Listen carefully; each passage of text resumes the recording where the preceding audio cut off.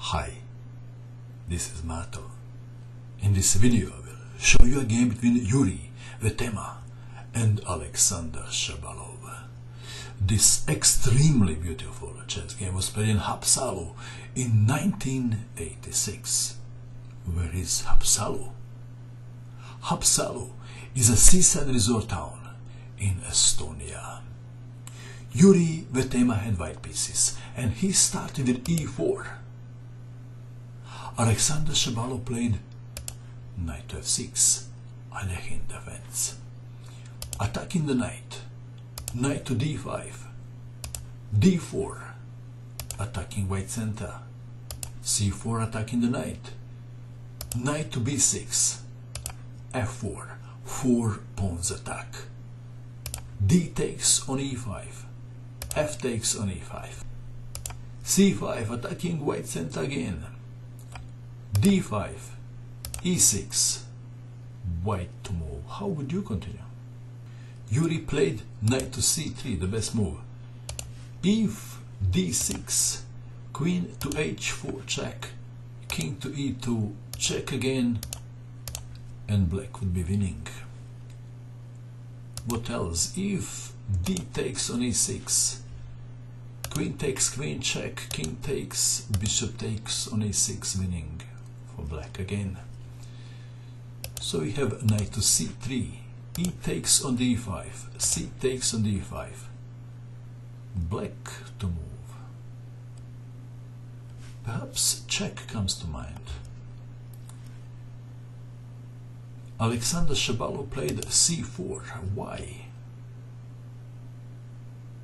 In order to play bishop to b4 or bishop to c5. Juri played a3, bishop to c5, knight to f3, Shabalov castle at the king's side, bishop to e2, bishop to f5, attacking the queen, queen to d7. 13 moves have been played. Who has the control of the center? Who has a better center? White has a better center. Definitely maybe. White center looks overextended. Do you agree? What does overextended means? Overextend means to extend, reach or expand beyond a proper, safe or reasonable point. White to move, queen to d2, h6, attacking the bishop, bishop to f4, developing the knight to a6, and Juri Vetemaa cast at the queen's side. Rook from a to c8, lining the rook with white king. Brilliant move. h3, intending g4, g5. Black must be very quick. What is the best move for black? Black should be fighting on the queen side. And indeed, Alexander Shabalov played the best move. Knight to a4.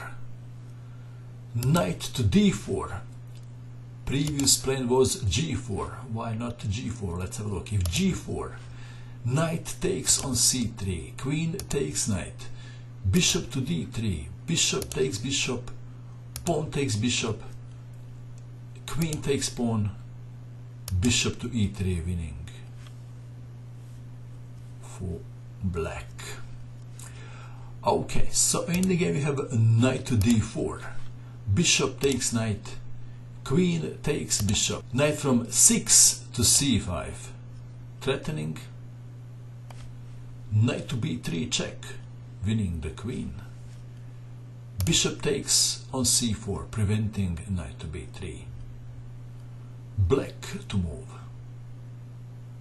This is the most interesting moment of the game. What would you do in this position if you had black pieces? Please pause the video and find the best move for black. What did you find?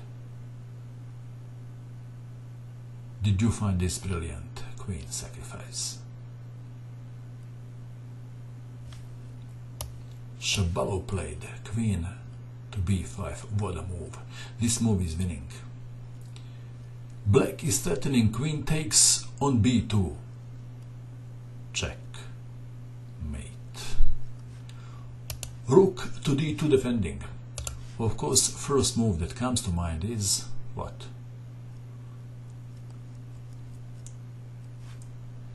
Bishop takes queen. But this move has a downside. Check. Mate is a downside. So we have rook to d2. Black to move. What would you do now? Black played a move and white resigned.